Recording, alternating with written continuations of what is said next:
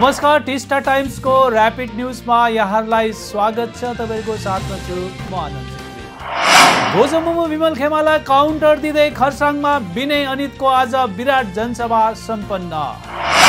शान्तिमय पहाडमा अब कालो छाया पर्नु दिनु नहुने पार्टी महासचिव अनित थापाले गरे जनतालाई अपिल।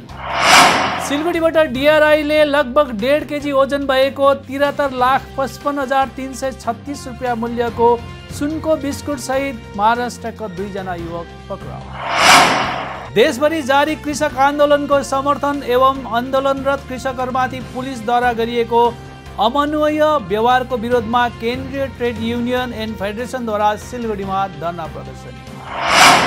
राज्य सरकारको पहलमा राज्यभरिमै आजदेखि द्वारे सरकार कार्यक्रम सुरु गरियो। यसै अन्तर्गत सिलगढीको चार नम्बर बोर्ड अफिसमा द्वारे सरकार कार्यक्रमको गरियो आयोजना।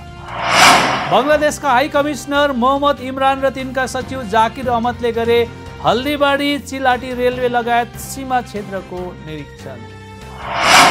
राष्ट्रिय राजमार्ग दस अन्तर्गत पर्ने सत्ताइस माइल नजिक वाहन दुर्घटना हुँदा सिलगढीको एकै परिवारको सासु बुहारीको मृत्यु अन्य तिनजना गम्भीर रूपमा घाइते। जनआन्दोलन पार्टीका युवा एकाइका प्रवक्ता विशाल राई टिस्टे खरसाङमा सम्पन्न आज जनसभामा विनय गोजामु पन्थीमा सामेल। कालिम्पोङको चौबिस नम्बर समष्टि अन्तर्गत समथार देउरालीमा गोर्खा राष्ट्रिय युवा मोर्चाको साङ्गठनिक सभा सम्पन्न।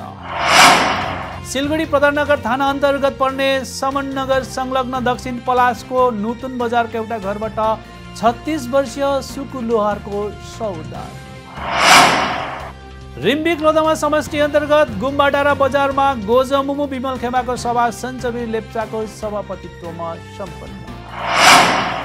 दार्जिलिङ पुलबजार कृषि खण्ड कार्यालयको आयोजनामा पुलबजार ब्लक सिट फार्ममा खेत जोत्ने हाते मसिन पचास प्रतिशत सब्सिडीमा कृषकहरूलाई वितरण।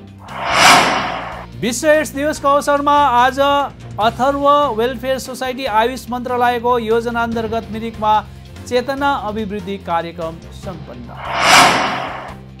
जलपाइगुडी जिल्ला प्रशासनको पहल अनि नगरपालिकाको सहयोगमा आज जलपाइगुडीमा द्वारे सरकार शिविरको विधिवत उद्घाटन। आज विश्व एड्स दिवसको अवसरमा वेस्ट बेङ्गाल भोलिन्टरी हेल्थ एसोसिएसनद्वारा सिलगढीका विभिन्न ठाउँहरूमा एड्सबारे जागरुकता शिविरको आयोजना। पोखरेबम ग्राम पञ्चायत तिनको सङ्गम बजार परिसरमा सिद्धि विनायक बहुद्देश्य महिला सहकारी समिति क्लस्टर लिमिटेड कार्यालयको गरियो विधिवत रूपमा उद्घाटन। पानी ट्याङ्की सामुलतला रामधनजोत एसियन हाइवेमा एउटा वाहन अनियन्त्रित भएर दुर्घटनाग्रस्त। हवस् दर्शकबिन ऱ्यापिड न्युजमा अहिलेलाई भने यति नै।